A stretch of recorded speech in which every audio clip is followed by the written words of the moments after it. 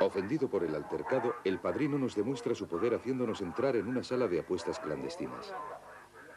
Aquí, simultáneamente, se apuesta por todo. Carreras de caballos, carreras ciclistas, carreras de fuera borda.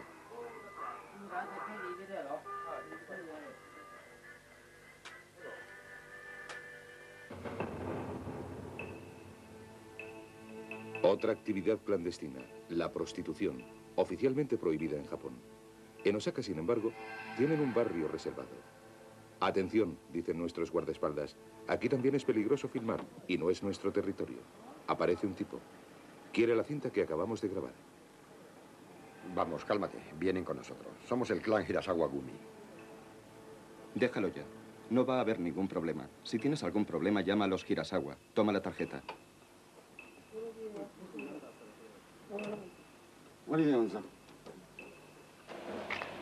Un incidente de este tipo es susceptible de desencadenar una de las innumerables guerras entre clanes que puntúan con regularidad la actualidad en Japón.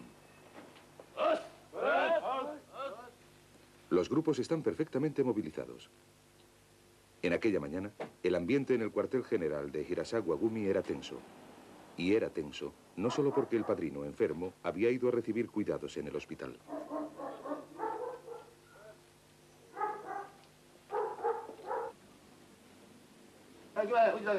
Date prisa.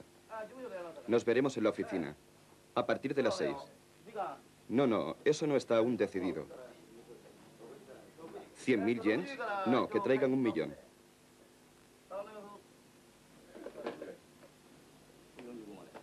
Ah, sí, está muy bien así. Bajo la chaqueta no se ve. Y además no pesa mucho. En realidad el clan está en pie de guerra. Hirasawa se prueba su nuevo chaleco antibalas. El responsable del sector de acción nos dice, se prepara una guerra. De todos modos, estoy dispuesto a morir. No sé cuándo me ocurrirá eso, pero no estoy preocupado. Es normal para un yakuza. Solo tengo la idea de estar junto a mi Oyabun. No sé hasta dónde debo ir, ni hasta dónde puedo llegar, pero sé lo que hay que hacer.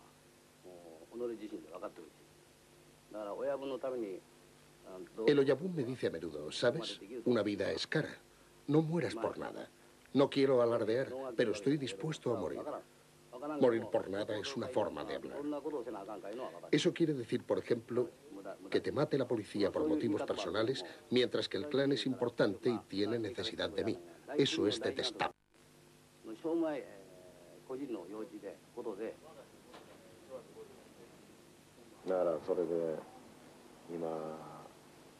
Sí, estamos preparados. Estamos preparados desde hace cuatro días y ahora estamos a la espera. El micrófono, por favor. Hay que cortarlo. Y la cámara también. El padrino no quiere que sigamos grabando. Acaban de matar a otro padrino y él quiere hablar sin la cámara. Miren estas cartas. Esta combinación de tres cartas es la combinación perdedora de un juego muy popular en Japón. Esta carta se llama Ya, esta Q y esta Sa. Yakuza. Así pues, los gángsters japoneses se han autodenominado como los perdedores. Y el padrino Ichima, el Oyabun del clan Seyukai, efectivamente ha perdido. Acaba de ser asesinado y todos los periódicos hablan de su muerte con grandes titulares. Conectado al Yamaguchi-gumi, la familia mafiosa más poderosa de Japón, el padrino Ichima mandaba sobre unos 2.000 hombres. Pero sus guardaespaldas no pudieron evitar que fuese derribado por tres balazos en su coche en pleno día en Sapporo. Los asesinos son los miembros de una organización de extrema derecha que a la vez está controlada por un clan yakuza rival. Precisamente para que este conflicto no se agríe más, en Hiroshima la policía local vigila al agresor, el clan Kiyosai. Es para que no haya miembros Yamaguchi que se infiltren en su territorio. Y en Hokkaido, la policía detiene a los miembros del clan víctimas del asesinato en cuestión.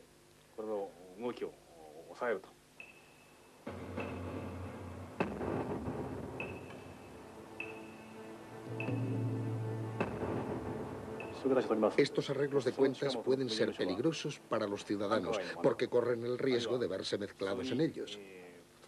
Los cuarteles generales Yakuza se encuentran en zonas habitadas por la población y a menudo son el objetivo. Los yakuza los ametrallan o los derrumban con camiones. Hay por tanto un peligro real. Recientemente en Yamagata tuvieron que desviar el itinerario de los escolares para que no pasasen por delante de los cuarteles generales de los yakuza al ir camino de la escuela.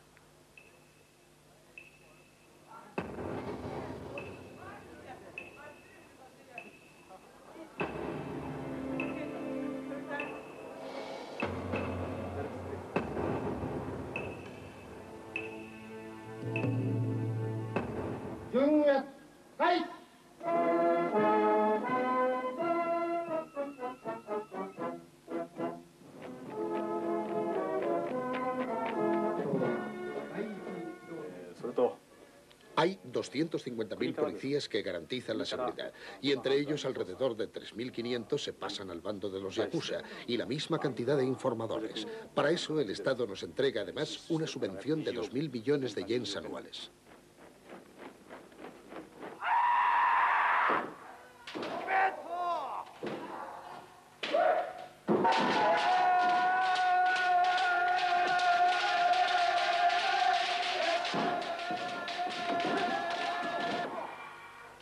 ¿Existe un entrenamiento particular de los policías contra los yakuza? Realmente no, porque los policías hacen todos o bien judo o bien kendo. Pero además hacen obligatoriamente tayojitsu, que es una técnica de inmovilización que reúne llaves tomadas del judo, del kendo, del karate y del aikido.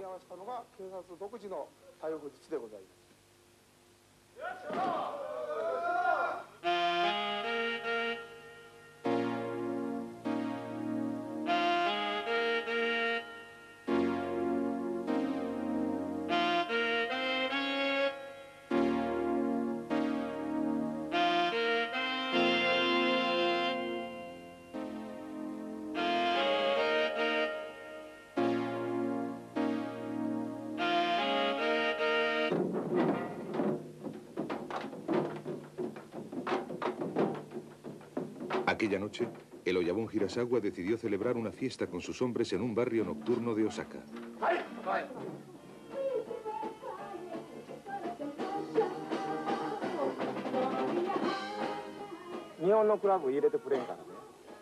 Esta noche... Porque los clubs japoneses no nos dejan entrar. No les gustan los yakuza. Porque provocan muchos problemas. Y además, aquí, en este tipo de club, las chicas coreanas no comprenden nuestras conversaciones al detalle. Así que hablemos de negocios o de lo que sea, no entienden nada. Eso nos viene bien.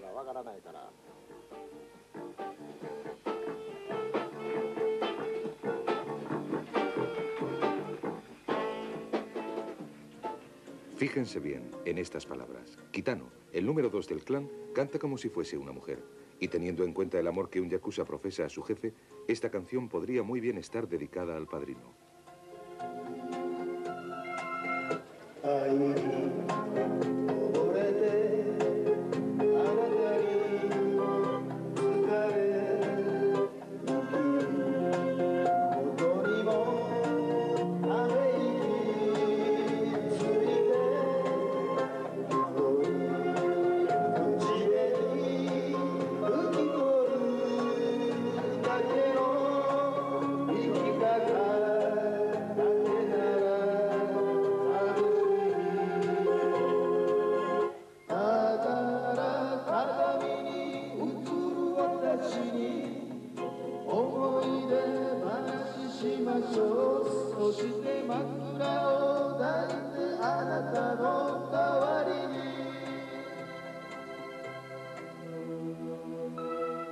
El Oyabun Chibata, escultor en sus ratos libres, dirige un clan que lleva su nombre, el Chibata Gumi.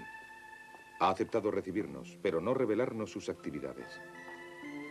Se describe a sí mismo como un filántropo y un cruzado de la lucha antidroga. Escuchan de qué forma el Yakuza Arai le testimonia su admiración y su amor.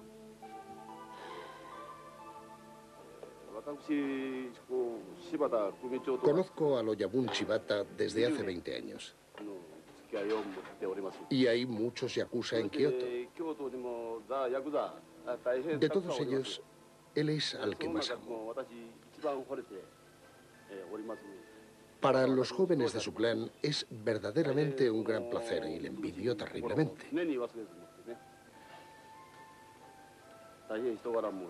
Él es también mi guía, severo aunque justo y cálido, uno de los pocos yakuza así.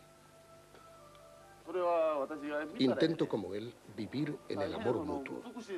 Él daría todo lo que tiene a los infelices. Si yo pudiera realizar una centésima parte de lo que él hace sería suficiente. Y espero convertirme en su réplica. y disfruto de cada día pasado a su lado.